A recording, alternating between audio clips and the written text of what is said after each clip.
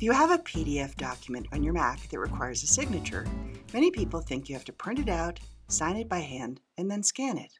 You don't. You can sign PDF documents right on your Mac without a printer, a scanner, or any extra software. This is Allison from Computers.mom. In this video, we'll show you how to add your signature to PDF documents right on your Mac. It's just four easy steps. Here on the desktop is a PDF file that needs a signature.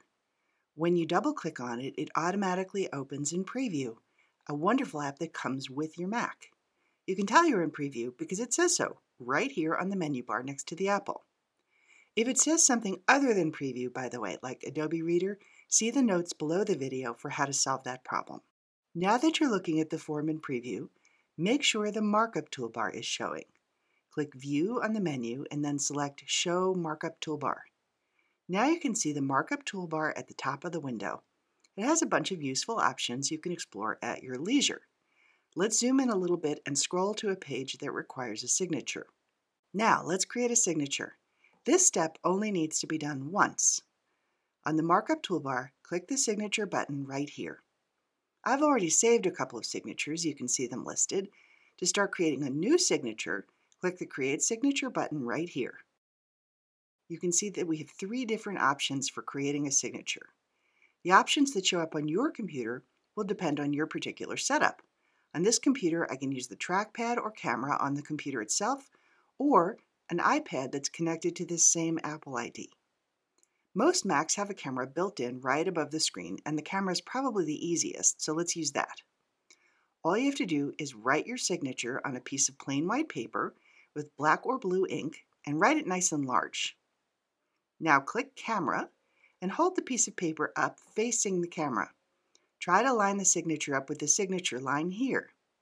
Don't worry that it shows up backwards at first. As soon as it's captured, it will appear correctly on the screen, nice and bold. When you see that, click Done. Once you've saved a signature, it's easy to add it to a PDF. From the signature list, just click on the signature you want to use. It appears in a box on the document. Sometimes it can be a little hard to spot because it's on top of the text. To move the signature to the correct location in the document, move your mouse pointer over the signature box. When the pointer turns into a little hand, you can drag the signature wherever you want it to appear. Notice also that there are little blue dots at the four corners of the signature box. You can adjust its size by dragging any of the blue dots like this. So the document's signed and ready to go. I'm going to close it. Did you notice that although we've made changes to that file, we weren't asked to save it? Changes are saved automatically. If we reopen it, the signature has now become part of the document and can't be edited anymore.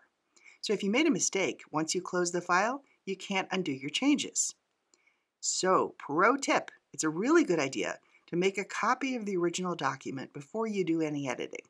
That way, if you mess up, you can always go back to the original and start over. To make a copy, open the original unsigned document.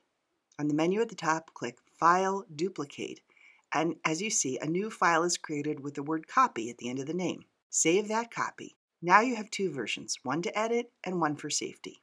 So that covers the basics. In the rest of this video, we'll take a quick look at two other methods to create signatures in Preview.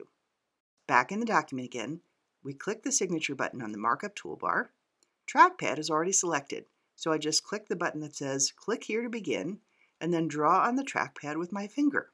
It's a little more awkward than using a pen. When you're finished, tap any key on the keyboard. If you don't like the result, click Clear to start over. If you do, click Done. Alternatively, if I choose the iPad as my input device, the iPad screen turns into a signature pad automatically. Just sign with your finger, and when you tap Done, the signature appears on your Mac. So here's a quick recap of the steps for your convenience. Make a copy before you start. Open the PDF in the Preview app Make sure the markup toolbar is showing. Create a signature just once. Once it's created, you can insert the signature on any PDF, drag it to the correct location, and adjust its size. That's all there is to it. Thanks for watching. Feel free to leave comments and questions below. Click like if you found this helpful, and don't forget to subscribe for more Computers.mom videos.